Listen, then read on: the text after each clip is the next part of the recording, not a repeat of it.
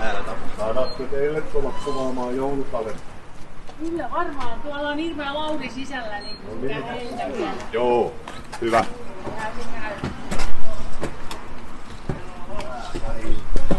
Päivää. Joo, me ollaan hyvissä ajoin. Meillä on matkauppana ollut nämä tämmöiset kortit. Että täältä niin kuin jokaiselle luukulle aina otetaan yksi kortti, että jos, jos sä haluat pystyt nostamaan, niin Kyllä. otetaan sitten. Joo. No niin, Otetaanko heti?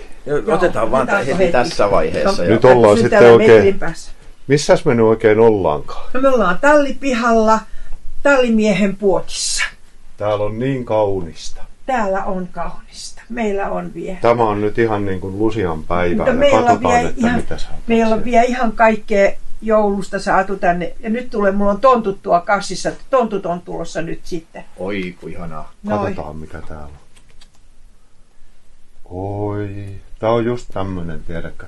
Tää on tämmönen sauvojen ritari. Se, se ratsastaa tällaisella hevosella, joka on, siitä ei oikein edes tiedä minkä värinen se on.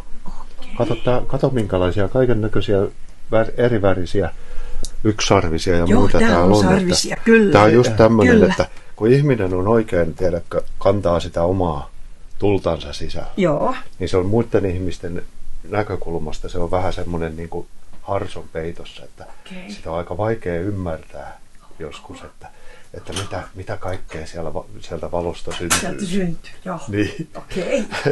Ok. Mutta joo, tää, tää on tosiaan ihanan valoisa paikka ja mä oon ihan varma, että täältä lähtee paljon paljon valoa joulukoteihin. Mä uskon myös sen. Joo. Joo. Ja se on niin harvinaista nähdä, että kun sä kerroit justiin, että siinä on sun tekemiä Joo. käsityötä ja Laurin Joo. tekemiä käsitöitä. Kyllä. Täytyykö mun hakea isot määrät teille joulutonttuja tuolta keittiöstä? Mä oon ne just tuonut. no ei, mä ne? ehdottomasti. Haenko mä ne tuolta? Kun vasta ne on tulossa sisälle.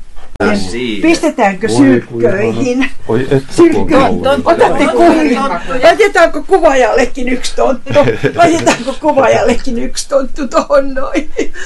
Niin nämä on nyt vasta tulossa, kun näitä on täällä, täällä sitten pieniä ja suuria ja, Oi, ja kaikenlaisia sitten. Että tuota, ihania Täällä on tonttuja. tontut sitten poikineen, kun mä vaan saan tätä.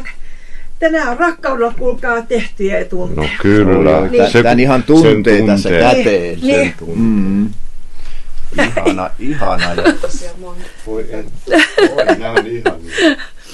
kyllä. Niin, joka silmukka on käsin pilkattu No ja niin, panulla täytetty. no niin. Niin, Upeita.